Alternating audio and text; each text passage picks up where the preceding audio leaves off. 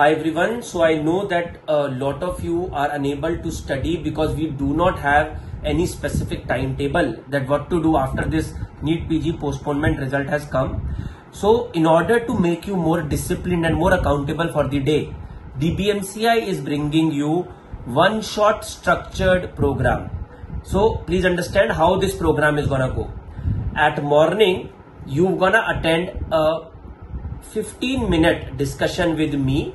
You can attend it on YouTube or if you are a DBMCI student, you can join us at the Zoom and from 8.45 to 9, this, this discussion is gonna go why it is important for you to study today.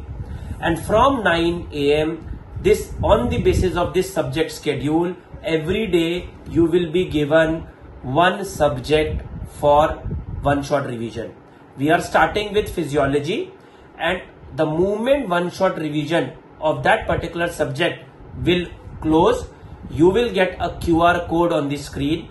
And this QR code the moment you're gonna scan it it will take you to a customized paper of that particular subject to see whether your knowledge is enhanced or not to see whether you have learned the subject or not.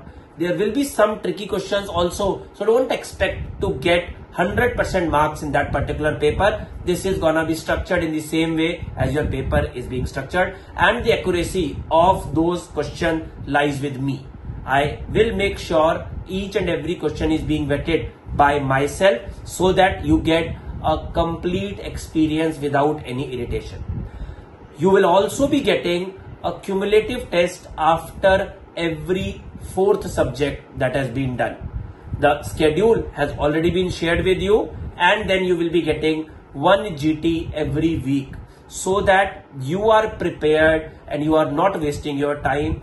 That's DBMC. I promise to you that we will make sure that till the time the date is being announced, till the time your exam is there, we will make sure that you are not wasting your time and you are sticking to what is best for you. One shot, practicing questions and writing GT. That is what all that is needed. Take care. May God bless you all.